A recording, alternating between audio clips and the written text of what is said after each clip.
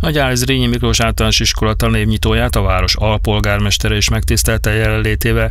Az intézményben 357 diák, közöttük 42 első osztályos kezdte meg, illetve folytatta tanulmányait.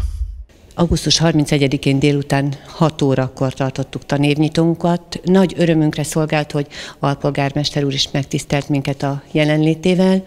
Én azt gondolom, hogy azért nagyon-nagyon jó dolog, mert az önkormányzat soha nem engedte el a kezünket, ezt nyáron is nagyon-nagyon éreztük, az iskolakezdési támogatással is éreztük, és nagyon jó dolog volt, amikor alpolgármester úr súgott nekünk, hogy most újabb tableteket fogunk kapni és ez ott derült ki a tanévnyitó alatt, és ez külön egy újabb, újabb örömre adott okot, és ezúton is szeretném ezt megköszönni az önkormányzatnak és neki is. Szeptember 1-én 357 diákunknak csöngettek be.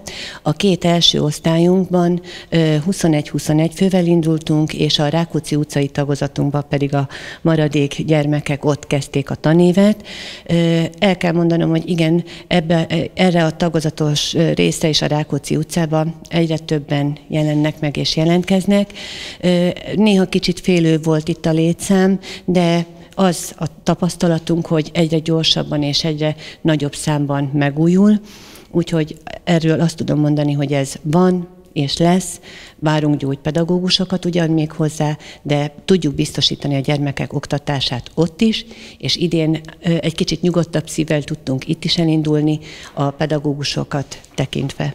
Hogy látja, mi lesz a 2022-23-as tanév kiemelt feladata? Mit állítanak fókuszba?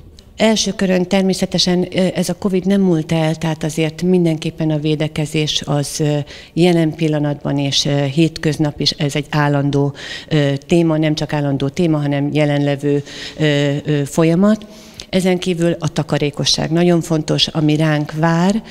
Mi nem szeretnénk semmilyen szinten online oktatást, és tudjuk, hogy senki nem is tervez. Úgyhogy őszintén remélem, hogy jelenlétiben zajlik, vagy fog zajlani ez a tanév egészen június 15-ig, és azt is remélem, hogy minden gyermek egészségesen átvészeli ezt a 10 hónapot, és mindenki nem csak egészségesen, hanem szerencsésen is tovább tud majd haladni.